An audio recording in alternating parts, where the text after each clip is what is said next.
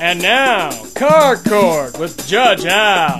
Your Honor, this big city car dealer tried to sell me a piece of junk. Judge Al Satterfield of Sunwest Motors delivers the lowest prices, the biggest rebates, and swift justice to big city car dealers. We get it approved.